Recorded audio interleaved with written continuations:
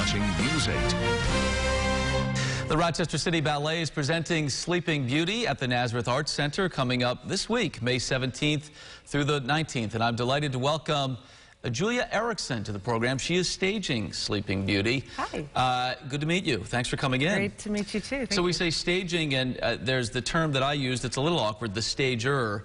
What uh, what exactly are you doing to help bring this story to life? Well, this uh, ballet was choreographed over 100 years ago by this major guy, a major choreographer in ballet, Marius Petipa. And what people do now is they restage it for in an appropriate way for their respective company. So I'm basically reinterpreting the choreography as it is appropriate for Rochester City Ballet.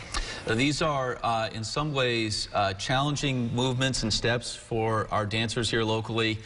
Uh, and in some ways, they will do this ballet in a way that it was not done 100 years ago, right? Well, I wouldn't say that they're challenging for these dancers. In fact, these dancers I find are very adept and are probably dancing it better than the original dancers.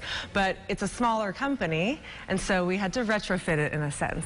Um, also, it's a more classical ballet. It's the first uh, Petipa ballet that Rochester City Ballet has done. And so it's a fun challenge because there's there's a certain style to it that they have to kind of adhere to. But their technique absolutely holds its own.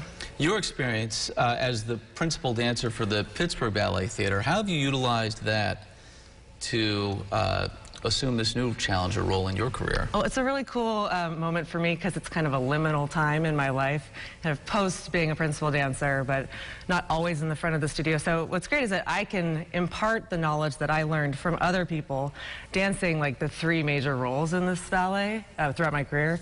Um, I can impart it to these dancers and I can also kind of demonstrate it for them in a way that they can understand it. So that's it's been really fascinating for me and it's been a rewarding experience. Ultimately, when audiences see this performance, what do you hope they'll take away?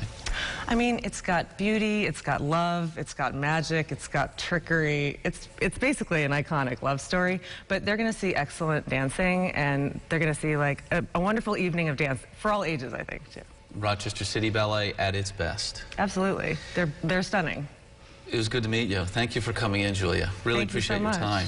So, Sleeping Beauty from the Rochester City Ballet, your opportunity to see it this week. Tickets, as always, online at rochestercityballet.org. We're sharing that link on our site as well at rochesterfirst.com.